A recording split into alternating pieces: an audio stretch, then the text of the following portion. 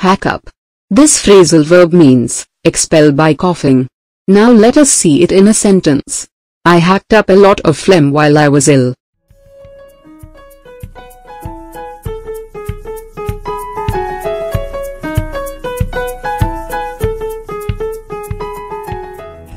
Hand in. This phrasal verb means, submit work for appraisal.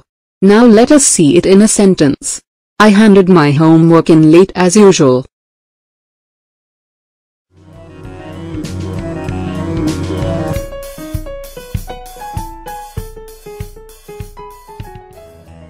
Hole up.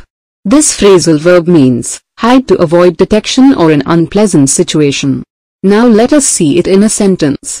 They holed up in a remote cottage while the police were searching for them.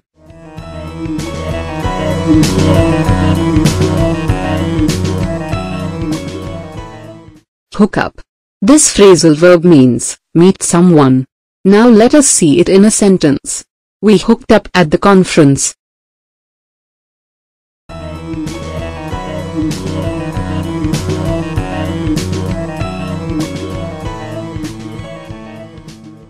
Hunt up.